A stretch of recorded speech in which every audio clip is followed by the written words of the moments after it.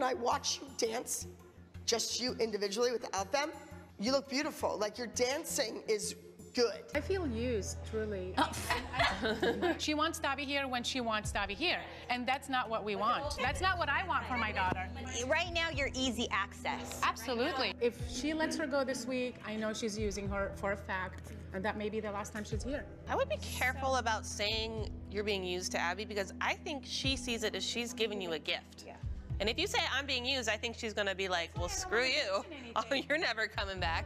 That's why I don't want to mention anything to Abby because I want to see how it plays out. If she's here another week, then maybe she wants the grade eight and let someone go. I don't know.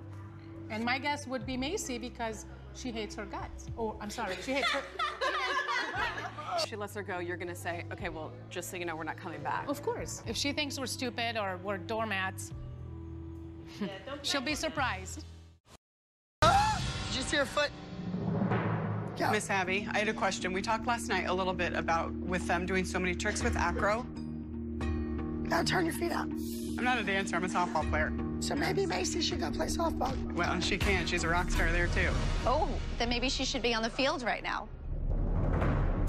She's your duet partner. Why would you want her on the field right now? Because I think there's another duet partner that we'd rather have. You just stood there in front of the kids and said, I would rather have a different duo partner. That's pretty low. They have been against me since I walked in here. You will stab anybody in the back, including Abby. What was the little comment that you said the other day about her being incarcerated and you laughed about it?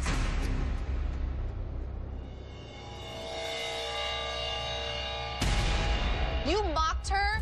You mocked her in front of everybody. You laughed about it. I did not laugh about it. Abby, It's Fresno. Isn't this what she does in Fresno? Abby, Miss Abby, don't go. Are you completely leaving? Like, Are you going to the audience or are you leaving? I think that we all know it's a sore subject to touch. And why you would bring it up when we're sitting in there ready for our kids to go on is beyond me.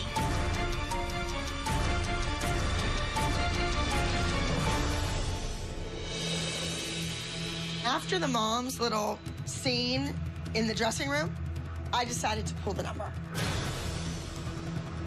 Happening? Okay, just, just back. I really don't know what the moms are trying to do. Hurt my feelings all over me. I don't know.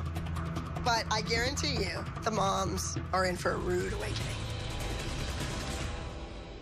Coming up on Dance Moms, You called me a bitch in front of my daughter. That's ridiculous. she needs to know what she's living with. We've never won in Fresno before. Can we change that today? I literally feel like I'm about to throw up for the rest of my life. Did you try and pull the routine? Back off, bitch. Don't talk, call me a bitch. That's like I am. You're, you're just a joke. You're a joke. I'm not a joke. You're if you're big as joke insecure, as that's your problem. If you have insecurity problems, you don't take it out on me or my kid. Thank you, guys. Why are you trying to pull their duet? I got the finger too. You, you know what? You're, you're, you're disgusting. How am I disgusting? I'm not disgusting.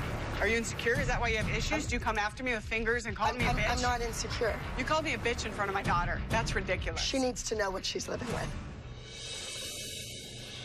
You know what happened? Yeah, what happened? I think Abby scratched the little kids from competing. You know, Yolanda's always about timing. Well, her timing was really bad today. She was trying to throw Jamie under the bus. How do you think that I could predict that that's what she was going to do? Use a brain and know that I have a brain. that word would not have ever been okay with Abby. You're such a character that's probably not the kind of person that Abby wants to work with. And what's your judge of character? Because she doesn't really care for you either. Kamryn has a really good shot at winning today. And now Abby's flown the coop because of this idiot Yolanda. Like, how is Kamryn supposed to focus right now?